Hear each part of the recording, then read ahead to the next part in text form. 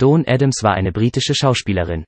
Leben die Tochter von Kapitän James Ramage Adams verlor früh ihre Mutter und verbrachte ihre Kindheit außer in England in den USA und im indischen Kalkutta.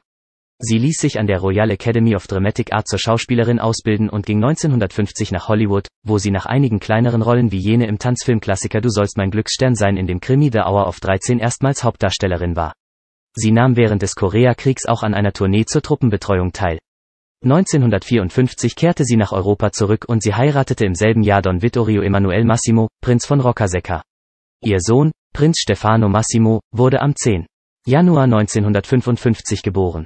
1956 gab ihr Charles Chaplin die weibliche Hauptrolle in seiner Filmsatire Ein König in New York. Adams wirkte weiterhin in Haupt- und Nebenrollen europäischer Krimis, Horror- und Agentenfilmen mit, danach auch in Fernsehserien und an Londoner Theatern, wo sie unter anderem bei Aufführungen eines Musicals um Peter Pan und in dem Schauspiel Die Wildtente auftrat. Im September 1974 heiratete sie Jimmy White.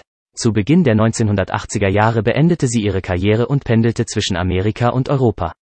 Die meiste Zeit verbrachte sie auf ihrem Anwesen auf Malta, wo sie als Gastgeberin von sich reden machte.